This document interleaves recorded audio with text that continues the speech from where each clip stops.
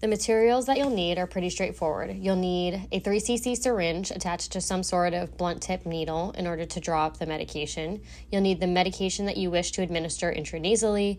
You'll need an alcohol prep pad to clean that top of that medication vial, and then you'll need the intranasal atomizer.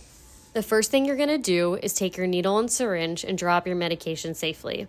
The important thing to note here is that in addition to your intended dose of medication, you must draw up 0.1 milliliters extra of medication to account for the dead space within the atomizer. You can then remove the needle and attach the atomizer directly to the syringe.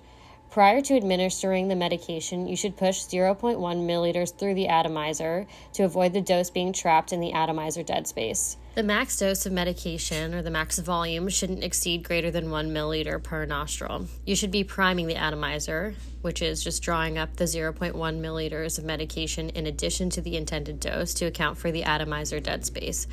The atomizer doesn't need to be reprimed between nostrils. Common medications to consider when doing intranasal administration are fentanyl and Versed. And remember that the atomizers are single use and you should dispose of them when they're done.